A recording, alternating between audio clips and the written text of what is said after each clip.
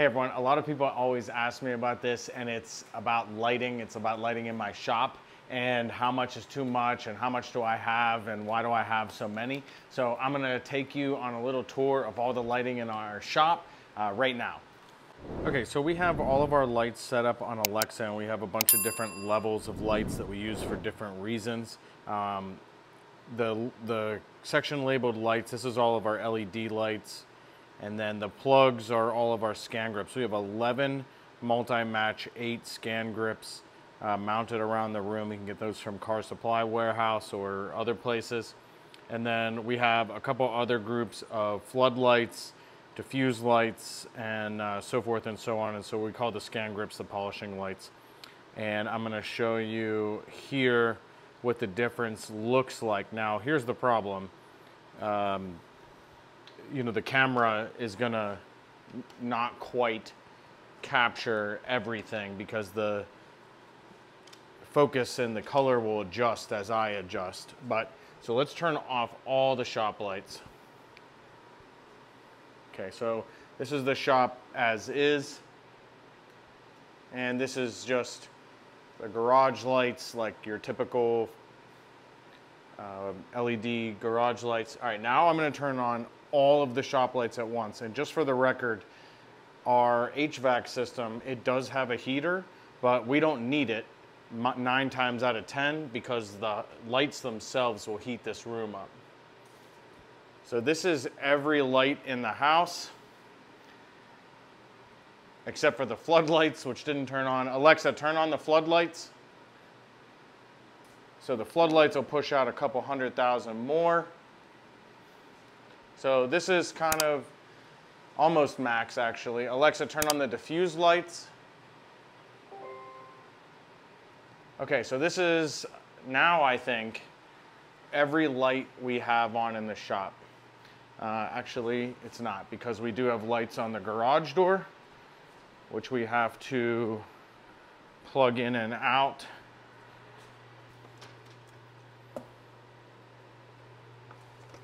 And if anybody in the comments has a solution for this rather than plugging like some sort of contact device or something, man, I would love to hear it. Um, oh, there we go. And we actually are missing a six foot down there. It burnt out, but I got more. I just haven't put it up yet. Okay, so this is every light on in the house. Um, I rarely use this. Those floodlights are so brutally hot. Um, so Alexa, turn off the floodlights.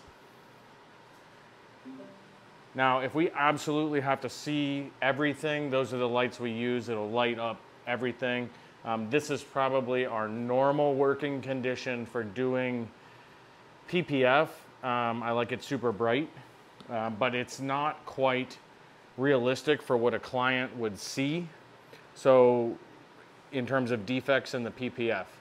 So when I want to see that, I turn off the LED lights. Alexa, turn off the LED lights. Now what we have is we have all 11 ScanGrips, of course, and then we have our diffuse light. Now we want the diffuse light because that's more realistic. Now you're saying ScanGrips are not diffused, and that's true. So when we do coatings and when we want to see what a PPF job looks like to a client, we put these diff large diffusers on. And so this is better for checking coatings instead of paint correction. So we have a bunch of these diffusers. They go up and they diffuse the light and it makes it more natural and shows you better what a job will look like in diffused lighting instead of focused lighting. Then the next type of lighting we really use, Alexa, turn off the diffused lights. The next type of lighting we use is really the correction lights and our polishing lights. And so that's all these 11 ScanGrips. So when we're doing paint correction, we have the diffusers generally off.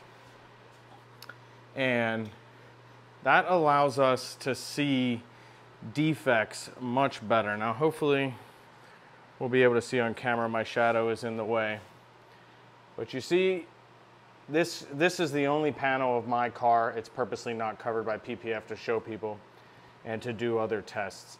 But you see all those swirls and sort of um, holograms.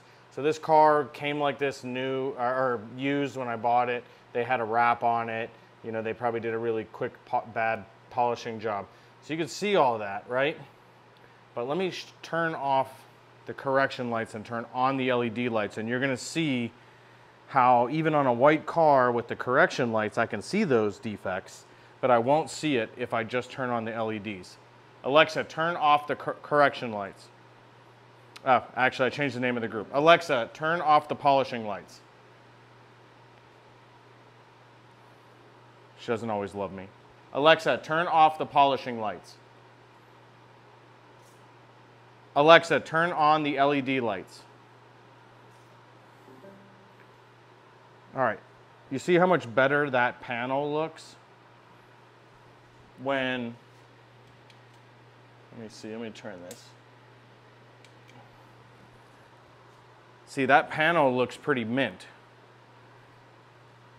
And I'm telling you that in person, even though you may not be able to tell on camera, in person, I can't see a single one of those defects. But if you put on the correction lights, you notice how awful it looks. So then we go to the diffuse light, which is better for coating and what have you. So let me back up just a little bit here. Okay, so you kind of have an idea. Um, and I'm gonna turn off the LEDs. Alexa, turn off the LED lights. Alexa, turn on the polishing lights. Okay, so you see the polishing lights. Now I'm gonna come back in a second. I'm gonna, I can't do it with one hand, so I'm gonna put all of those, I'm gonna put a lot of those diffusers on. We're still waiting, some are on back order, but I'm gonna put a lot of those diffusers on and you'll see, you know, hopefully on camera how the lighting looks a little bit different. Okay, I don't know if you can tell, so we have all the diffused lighting on and it's just a little bit cooler in here. It's a little, there's less shadows. It's a lot less shadows because the light isn't as focused. Now I'll tell you, this is better for catching high spots on ceramic coating. It is not as good for paint correction. I can still, you won't probably be able to see it on camera, but I can ever so slightly see the defects in this painted panel, but nowhere near when I had only the ScanGrip lights on without the diffusers. And then another question a lot of people ask is why do we have black walls? Well, it does look better, um, but scratches are white to the naked eye. And if you have glossy white walls and a lot of light, the light reflecting uh, will wash out the scratches and we want to see it. I want the cars to look, in theory, as bad as possible inside the shop. The worst that they ever will, I want to see it in the shop so that anytime the client sees it outside of the shop, it's always going to be better than under this harsh lighting no matter what type of lighting we have.